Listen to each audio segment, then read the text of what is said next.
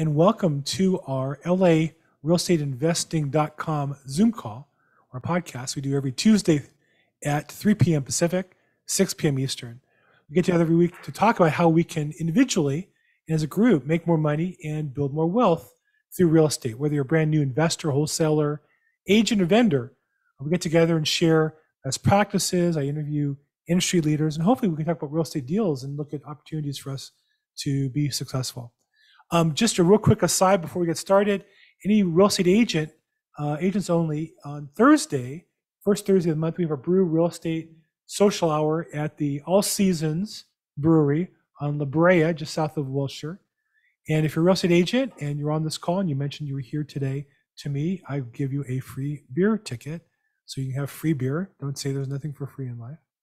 Um, so that's Thursday at 5:30, and you can sign up. Uh, and I'll put the link in the chat as well, or you can go to Eventbrite and uh, search Brew Real Estate. So, um, you know, part of why I do these calls is, in addition to my business, which I'm a real estate broker specializing in probate real estate in Southern California and building a team, I make more money than I spend, and I invest the wealth into um, various things, including real estate. And as a result, I'm always looking for you know opportunities for real estate investment.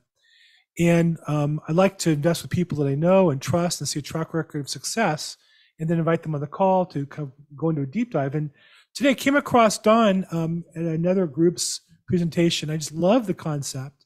The numbers I loved a lot. I just got to tell you. Um, I don't quite uh, play where they build. I'm not really a camper guy, nothing against it. Just we all have our styles, and I have a wife who would consider a Motel Six to be roughing it. So it's not what cut our style, but phenomenal investment opportunity. I want to share with you guys today. Don Spafford from Happy Camper Camp. Hey Don, how you doing again? Nice to see you. Hey Bill, great. Thanks for thanks for uh, bringing me back. And I love the chair, man. I think I I think I really just invited you back because I'm jealous of the chair. Wanted to see it. Um, so so tell us, just get a little background. Where do you where did you grow up and where do you live now? And then how'd you get into investing in uh, camper um, sites? Uh, so currently I live in Southeast Idaho. Uh, if anybody's familiar, it's uh, Idaho Falls, Idaho. Uh, we're about an hour and a half away from Yellowstone Park, about three hours north of Salt Lake.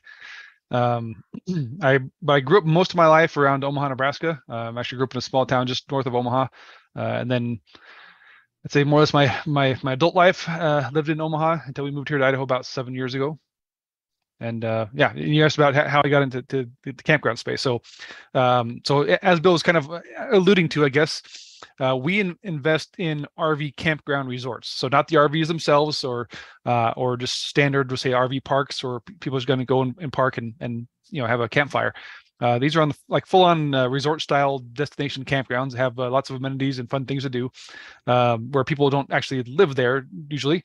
You know, they come there to have a good time and, and then go home. So what uh, how I ended up in this space was uh, I started off in uh, more like small multifamily, buying some fourplexes, and then uh, got into some other uh, you know commercial deals, some some development projects to build some uh, like triple net lease commercial spaces, and then that led me into with I guess with, with that combined with the multifamily things, I got involved with another team that does ground up development of large multifamily projects, and so kind of in, in, in that space in the end, uh, and then I uh, just kind of kind of like Bill, looking for other opportunities, seeing what else is out there. Uh, as you know, aside from these these large development projects that you know take a long time to to come to fruition, uh, I was trying to find some other things that are kind of more quick and cash flow producing, and um, you know, looking into what the traditional you know multifamily syndication, as most people do. Uh, I was not personally satisfied with the returns. Um, all, all the ones that I saw that were offering, uh, you know, they may have good equity multiples at the end, really not much good cash flow, at least up front to start off with. Uh, and even the equity multiples were still kind of, for me, I guess, somewhat substandard for most of them. So I was trying to find something better and, and uh, uh, you know, seeing what else is out there. And, and uh, I heard on a podcast, it turns out, about a year ago that somebody else had mentioned campgrounds and uh, being the space where I'm at here again, close to Yellowstone, and, and it's a big camping area. Uh, I thought that that was an interesting idea. That's something I'd not considered before. And so I started going to more, you know, webinars and meetups, uh, just networking people in that space that are already looking to buy campgrounds, uh, offering myself initially just saying, hey, I can help you if you're looking to buy something here in, in, in, Idaho. I can go check it out for you, take videos, whatever you need. Um, and uh, you know, and speaking of, of, of realtors, my wife is a realtor as well. So, uh, you know, I was offering you know her services. Like if, if you want to buy here, we can help you, you know, help with the purchase, all that kind of stuff. and so, just doing that, uh, you know, natural, you know, networking and progression. I came across a couple guys that had uh, just closed on their first property, and, and uh, we're looking to expand and grow a team. Uh, and so uh, we connected and discussed kind of what, uh, what, the goals I had and where I was looking to go. And uh, they told me what they were looking to do and what they had envisioned for for this team going forward. And uh, and you know, going back to what Bill said too, talking about the returns, uh, I was blown away when they told me the kind of returns they were able to get. and so I was like, well, for sure, I'm going to definitely invest in this stuff. Uh, and uh, then to get asked to to to join their team uh, was was first at me. You know, again, I, mostly being multifamily stuff, I was still unsure initially. I, I was like, I, you know, I don't really know anything about this stuff. Um, but the more I looked into it and more I thought about it and, and researched it, uh, I realized that this was a huge opportunity that uh, I, I, did not personally want to let pass by and, and, you know years from now regret why did I not you know give that a chance and, and, and who knows you know so so I said yeah let's let's do it I'll take a leap of faith and and uh, you know if it, if it works out great if not at least I tried right so uh, so I officially joined with Happy Camper Capital basically at that initial starting point where they were really starting to grow and, and, and be something, uh, you know, to gain momentum. Uh, and uh, since then, we've yeah we've grown a lot and and uh, done a lot more. And and uh, I've kind of quickly myself, I guess, somewhat unintentionally become the the face of the company, the the one out here on these podcasts and, and webinars mm-hmm. talking about uh, what we're doing and interacting with people and and you know helping to get the the name recognition out there. So you're the Happy Camper Capital eye candy That's right. Yeah, I guess I, I, have got the looks. I guess. I guess so. Wow. Wow. I have a I have looks for a, a radio podcast, but uh, you know the thing that also attracted me was that you guys had a couple examples on your website to share. So we're not soliciting investments today. We're going to kind of look at a couple. Um, but oftentimes you go on. I don't know about anybody else, but I know for me, I go on to other web uh, webinars or seven or uh, podcasts, and people talk about certain deals, and then you break it down. It just isn't quite the numbers uh, that they it sounded like on the call. But um, I wanted to kind of give just a brief overview of one of your recent or one of your portfolio investments, so we can kind of share with people and walk them through and see what it looks like. Um, having met with you before, so the Beyonder is your company branding for your projects, correct? So that that's our our uh, campground management company. Yeah. So Beyonder right. Camp is our, our management company systems. Uh, when we take over a campground, you know, we bring in our own management systems, uh, you know, implement the, the processes, the software, and everything else.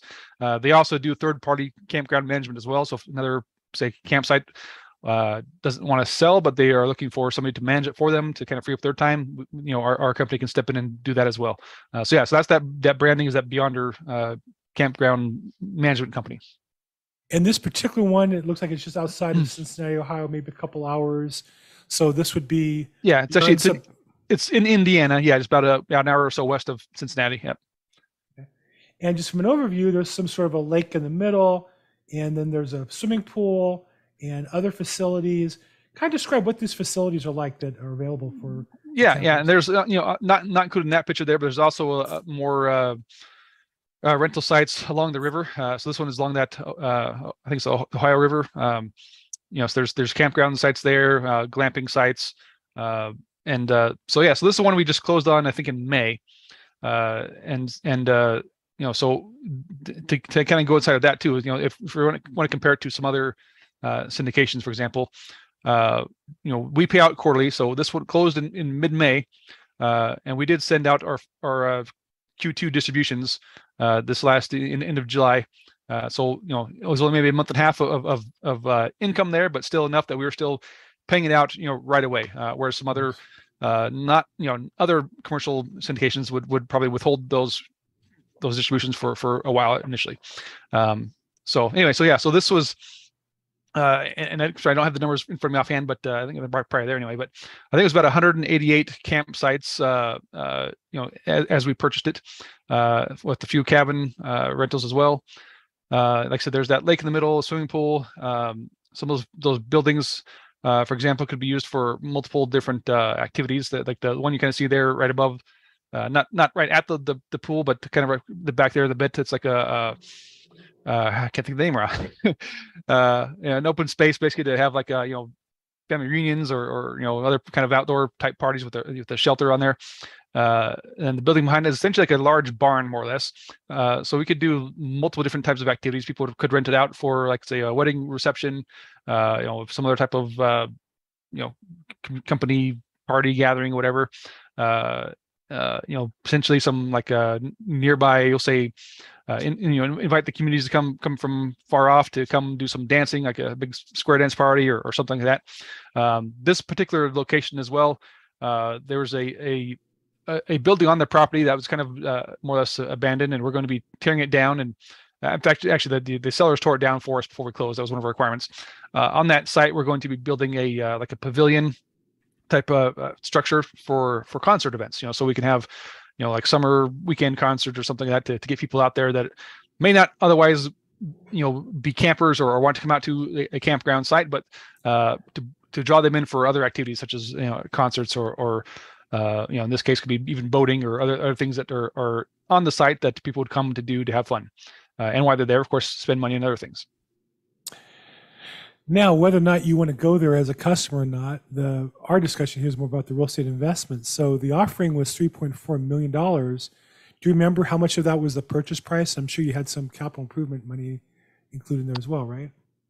Correct. Yeah. So so on this one, um, in fact, uh, um, man, I'm sorry, I w- I wasn't more prepared for to talk about this specific property, but Oh, okay. uh, but uh, yeah, it- it's fine.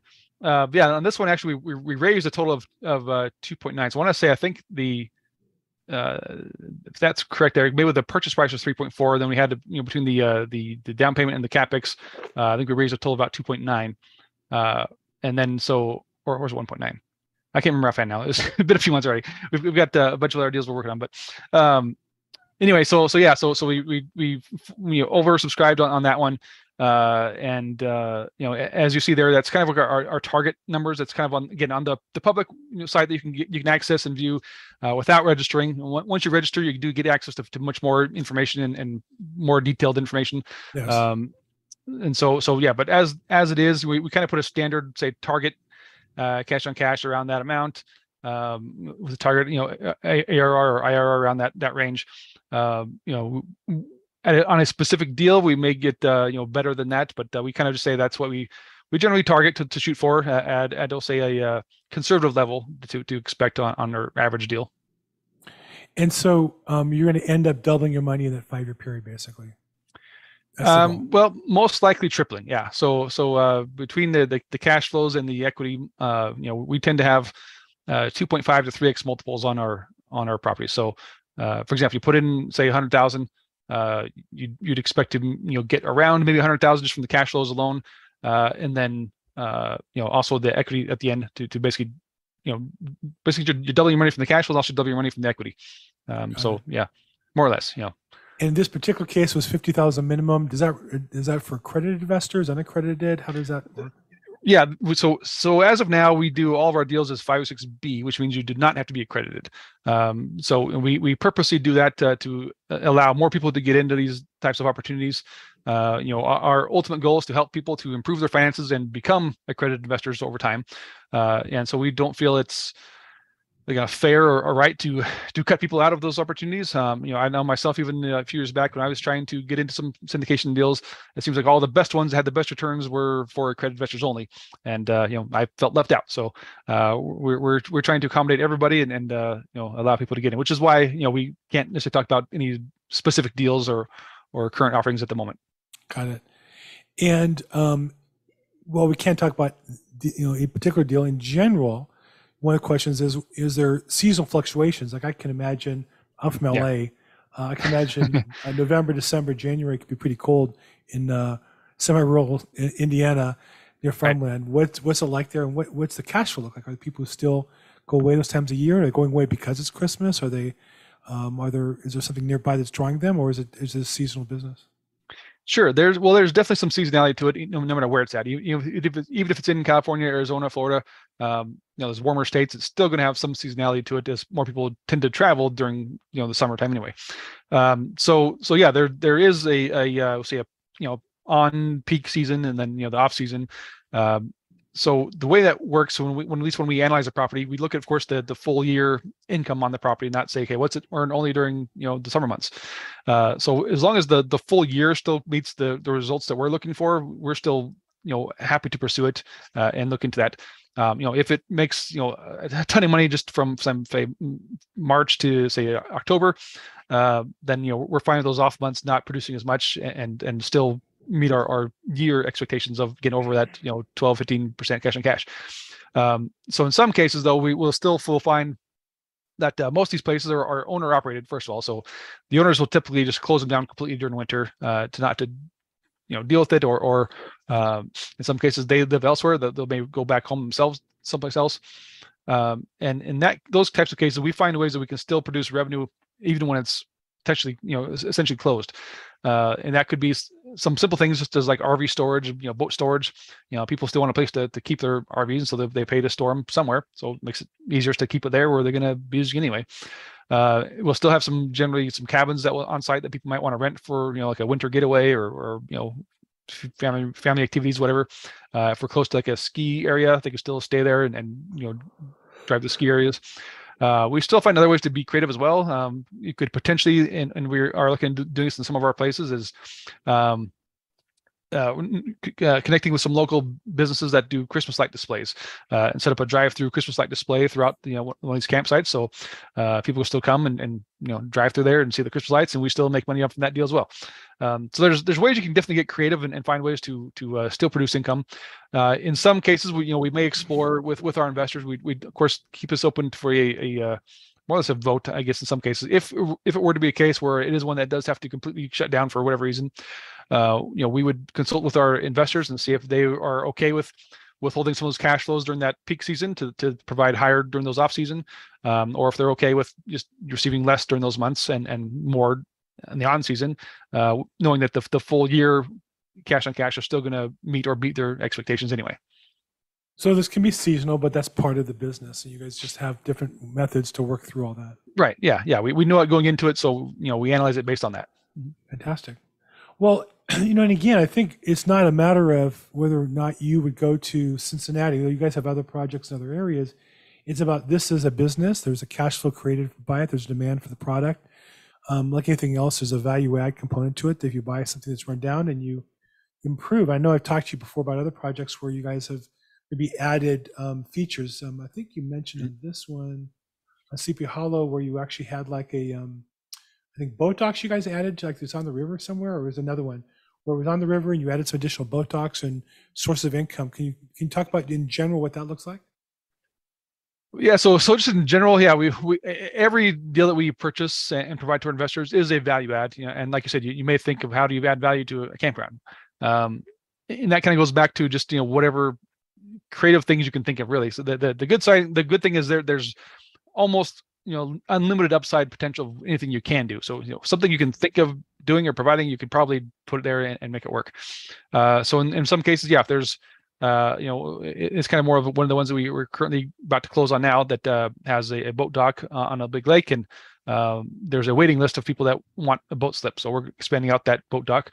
Uh, you know so in general, what we typically do at, a, say a basic level, uh, we're going to one improve their systems and, and, software, get a better online presence to get uh, online reservations, as most of these places currently only do phone call reservations. Um, so we're going to make that you know more efficient and, and better for people that, uh, that want to do that and can do that. And with that, of course, comes some dynamic pricing. So uh, if the campground gets more filled up, those remaining spaces go up in in, in price. Uh, very similar to what you know a hotel would do. You know, if, if you would make a reservation today, that's it's going to be a different price tomorrow. You know, so um, that's kind of how that works. So just doing those basic things right there, that's going to improve the income by at least five percent, uh, is what we've we've seen. Um, and then you know we're going to uh, where it makes sense to do so. We prefer to find properties that have enough land to, to expand them out, to add on more campsites. Uh, that could be a mixture of RV pads or or like cabins for short-term rentals, uh, even just dry camping space for tents and things like that um, uh, you know, adding on other amenities such as you mentioned, um, or like the one we're doing that that with that uh, Rising Sun, you know, adding on uh, like a venue for for concert events or other activities like that. uh, in some cases, it could be adding in, you know, additional things like a pool or water park or you know other types of water features. Um, we've got some that are on lakes that we're you know putting in like big uh, like inflatable uh, you know, ac- yeah, what do you call them? Uh, I don't know, the inflatable things that people crawl on and jump on and slide down, all those kind of things. You know, uh, put those on, on there on the lake for people to use. Uh, you know, we may have some some like paddleboard rentals, uh, uh, jet ski rentals.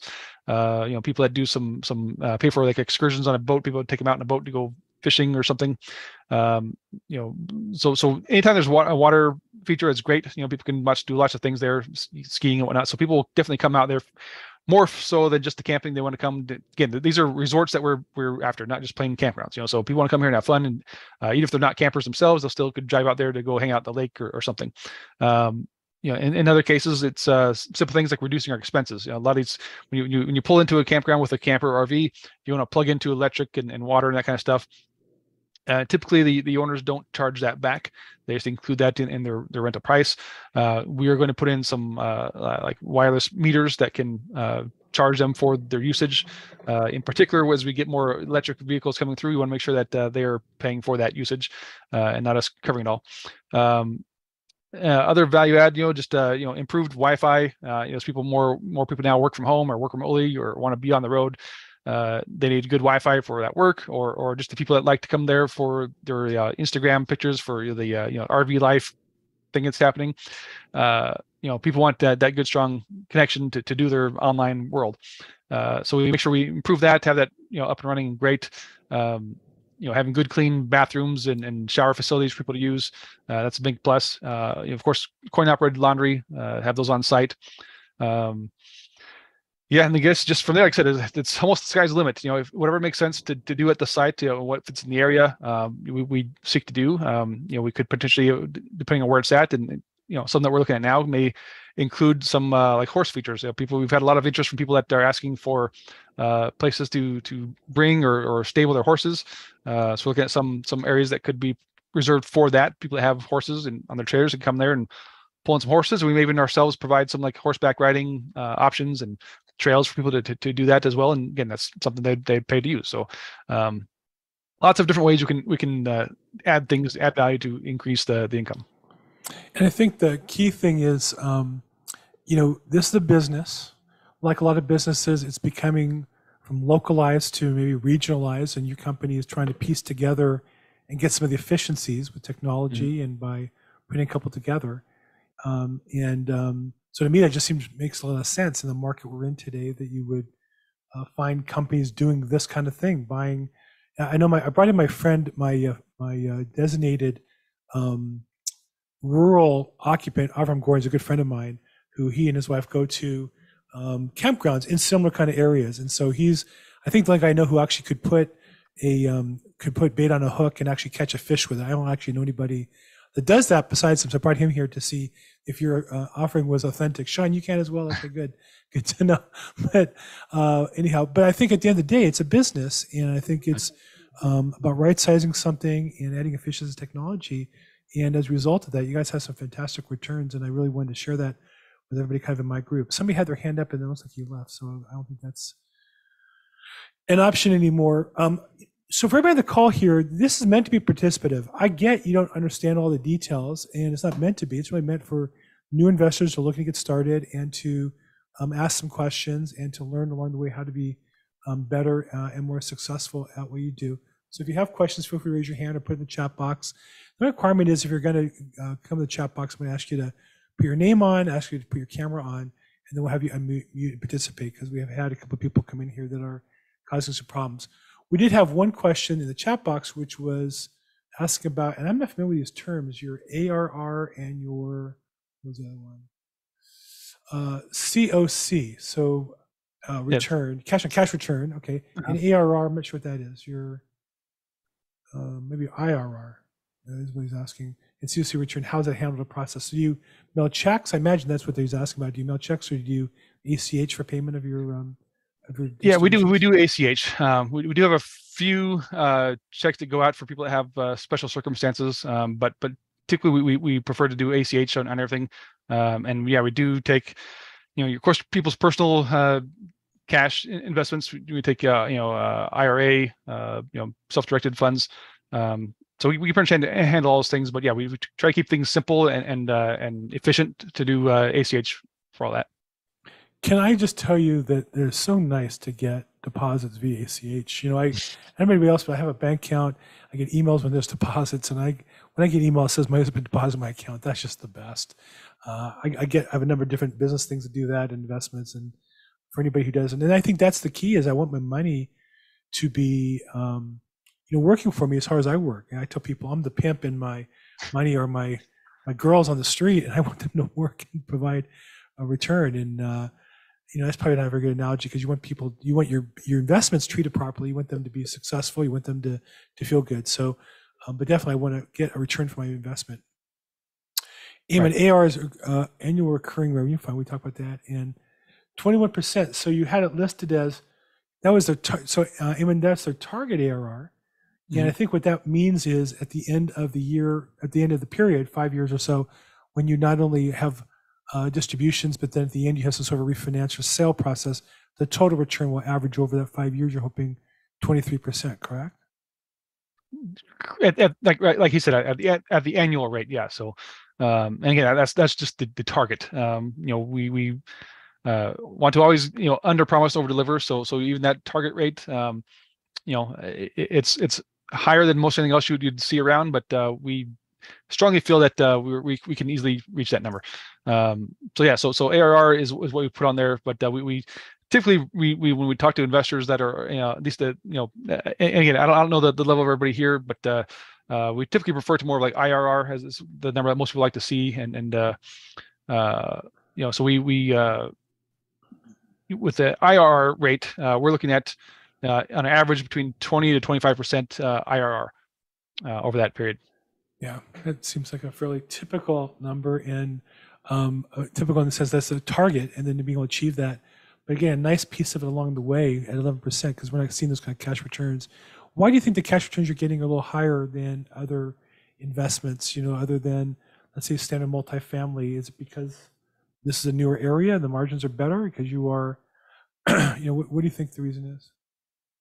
Well, typically it's if you if you want to look at it and compare it to like other uh, rentals, uh, these sites are more more correlated correlated say to like a, a short term rental. Uh, think of like Airbnb type thing. Uh, so if you want to look at like an Airbnb short term rental as compared to other standard long term rentals, uh, those short term rentals are are typically always going to produce much higher income. So uh, what we have on these properties is essentially like a, a short term rental at a multifamily scale. Uh, so with that, they produce a, a lot of of uh, income revenue uh, just from again just from the rentals alone. Then on top of that, we have multiple income streams uh, from from other activities there or the um, uh, convenience stores and things that are there for for people to to use. Makes sense. What's the average stay for a mobile home in these parks typically? I'm not pinning you down to but a range maybe. Yeah, and again, these, are, these aren't uh, to clarify. It's not mobile homes, so uh, you know. I'm uh, sorry. Campers. but uh, yeah, there's there's not like you know and that's a big big uh, confusion people have that uh, you know there's not like mobile home parks at all.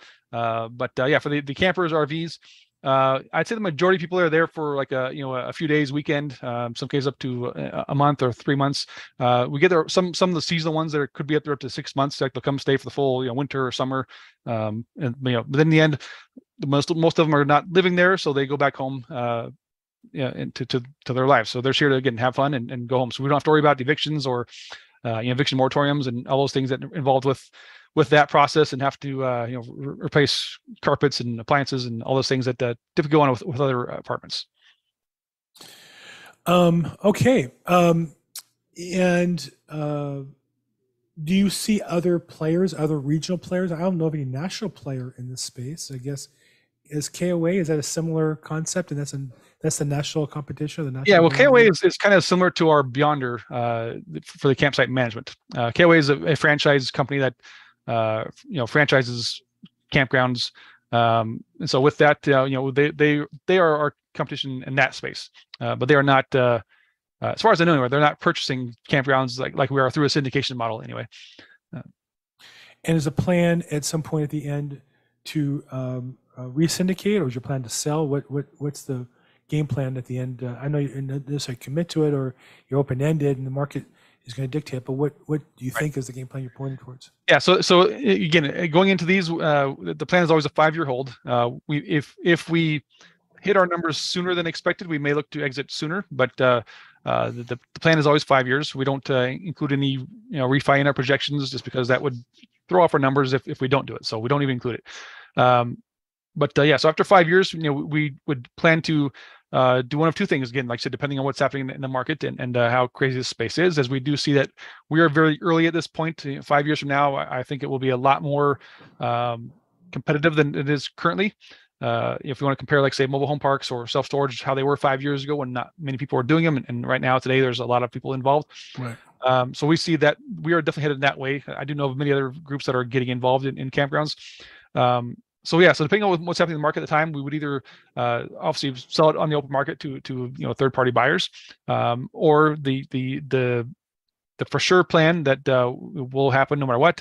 Uh, when I say no matter what, but but you know if if the market conditions are not uh, uh, as hot as, as we think they probably will be, but uh, we will still at that point look to refinance uh, to to pay off the, the investors to get them their, their returns as expected.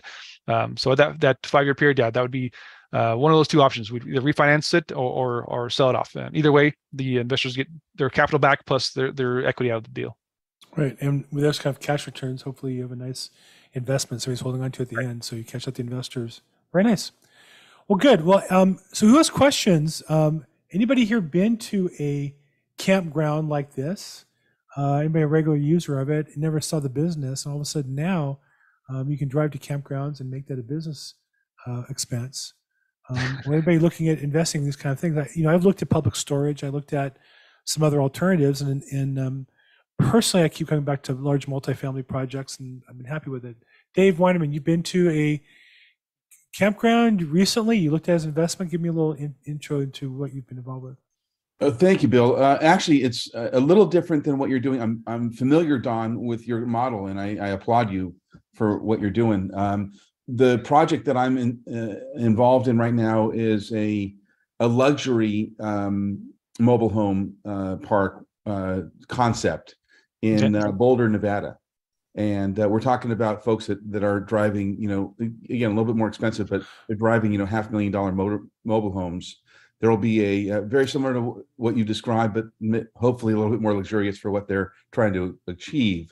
Um, yeah. They're looking at uh, you know infinity swimming pools and and gourmet uh, clubhouse and a 27 hole golf course that's already on the property i've visited the property already so i'm helping them raise substantially different numbers too but um, but definitely you know similar in concept. They have some other projects that are very similar to what you're talking about too. So um, just I'm familiar with it. I like the model, yeah. and, um, and kudos to you. Yeah, yeah, thanks. Yeah, that, uh, that does sound similar to what we're doing for sure. Uh, you know, and and in some of our some of our properties we you know are not uh you know we're not targeting a specific group saying only you know th- this or that uh kind of open for everybody we typically have some spaces that are kind of more for those uh, very high end uh, Class A motorhomes uh, that that need a you know big space to to put in there and lots of room to expand out. Um, so, so we have some of our campgrounds that have uh, space for, for everybody. But uh, our end goal again is we're, we're, we're these are value adds. So we're taking maybe what would be maybe a lower end or, or uh, you know resort property and, and, convert it to a much higher class uh, property to to get more more more people to come there and want to come there that are again not not just there for camping alone, but they want that uh, uh, interaction and, and fun activities to do. Nice. And which includes golf course too. We, we do have some that are Someone just mentioned something in the chat about Quartzsite, and uh, one of the fellows that I work with actually just went went into a contract to acquire a, a motor a mobile home park like you're describing, like you have in yeah. Quartzsite. Um, wow. So um, it may be the same people. Uh, I'm not sure. I'm. It, I can't imagine that there are there's more than one in that small city called Quartzsite. Um, but anyhow, I don't know if you're familiar with that. You're you're in the uh, Midwest, right? Primarily. So so we purchase nationwide. We we look everywhere. Um, you know, we we, we uh uh as of right now, primarily we we've we've had most of our properties in the Midwest area in different states. Um, but uh, we've had we have had some. We're working on some others that uh, you know in, in other areas too, as well as Florida and Texas as well. So um, yeah, we, we we look everywhere. Fantastic. Um, and then I, I saw also um, Eamon was in, says he's interested in this type of opportunity and hear who the revenue partners would be. So when you say revenue partners, I'm not sure what that means. Other investors. Um, I'll put the contact info if you're interested in more info. Uh, Eamon in, in uh, talking to Donner's team. Um, happycampercapital.com is the name of the website is, the- is the uh, website, and it has the information on there. And I, having been there personally, you go in and you sign up, and then you'll, they'll send you some detailed information, and you can go and look at the upcoming investments and such, and participate that way as well as talk to them. So happycampercapital.com would be where to go for more information. Yeah, yeah, and you can definitely on, on that site uh, uh, find my information on the on our About Us tab. Um, so if you can even directly there set up a, a call with me if you'd like to. Nice. And then uh, William asked again, what's the effect of weather and fires have? And I guess the answer is every campground's different, right? Some are in fire areas, some are not. Some have extreme cold, some don't. So it just depends on which which property you're looking at. But certainly there's a seasonality to this, um, like there is in motels and hotels and other similar properties. Yeah, yeah. I mean, obviously, you know, we, we have to take that into consideration with the the insurance that we get to cover that as well. Um, obviously, some uh, locations may be at higher risk for you know hurricanes, tornadoes, floods, um, all types of things can can come into play. But uh, you know, we we uh, try to do what we can, obviously, to to uh, uh, account for that with with the insurance. Obviously, we can't predict what will or will not, won't happen. Uh, there's always risk, you know, anywhere we, we could purchase. So, um, yeah, not much not much we can do to control the weather.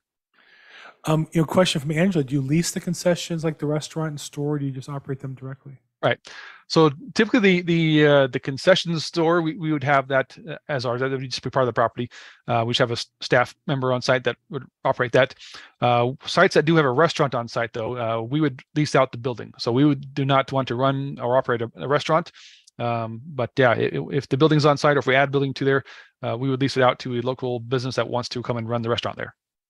And concessions would mean what? Um, supplies and basic. Yeah, I think like a convenience and- store, things, yeah, snacks and uh, maybe fishing supplies, that kind of stuff that uh, you know people would would want or need, you know, drinks and ice and that kind of stuff. Abraham fishing supplies. He's really interested in all that.